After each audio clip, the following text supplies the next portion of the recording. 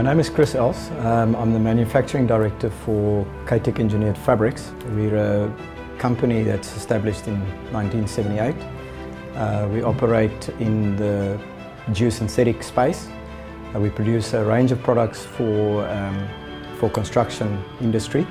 As part of our manufacturing facility, um, we consume recycled material um, in the format of cut bottle. Um, we actually converted directly from the cut bottle into a continuous filament which is laid down in a form which is called a mat which we then subsequently needle punch into a consolidated fabric which we sell in a rolled format to our customers. Our biggest impact obviously relates around to the collection of um, uh, the recycled materials or the bottles that goes into the recycling and um, you know based on Petco's numbers you know we're talking about a considerable number of people that um, have now income opportunities from the additional capacity that we generate from our line. The capacity of the plant, the nameplate for phase one is 4,500 tonnes. Um, obviously that relates to uh, a percentage more of bottle because of the conversion factor from, um, from the bottle being recycled into a finished product.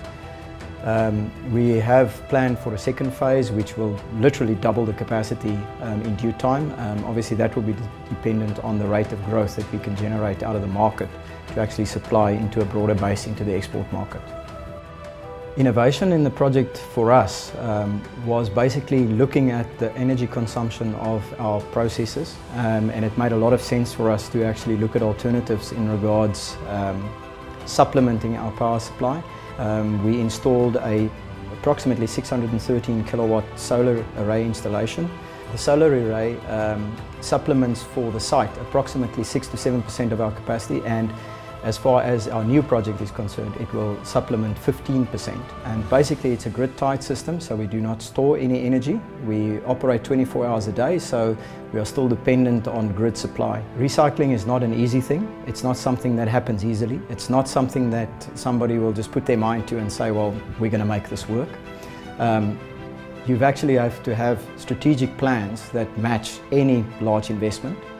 You've got to keep an open mind that the things that you expect are going to happen, they don't always happen. And the things that you never expect will happen will definitely happen. We, um, we feel that a lot of the processes that we've incorporated into our system are um, our own IP. And we feel that the end product actually makes a difference to the recycle industry in terms of the amount of additional bottles that can be collected and used. And um, in addition to that, it's not only for use in, the, in South Africa, but um, an export quality product.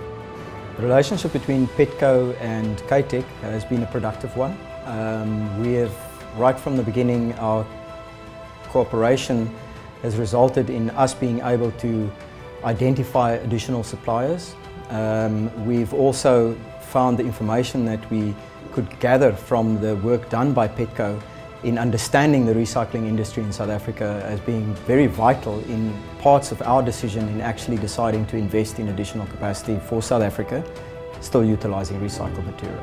Working with Chris is um, very interesting. I think from a quality controls perspective, we couldn't have hoped for a better um, person. Chris made sure that we worked solutions backwards and forwards and then backwards again to ensure that the final outcome was at the absolute highest level. And we've actually shown that we can do it as South Africans. Um, we, were, we were often told by our European suppliers um, of some of the components that um, they've seen these type of projects before and that it's very unlikely that they succeed. And our comment to them was, they haven't met South Africans yet.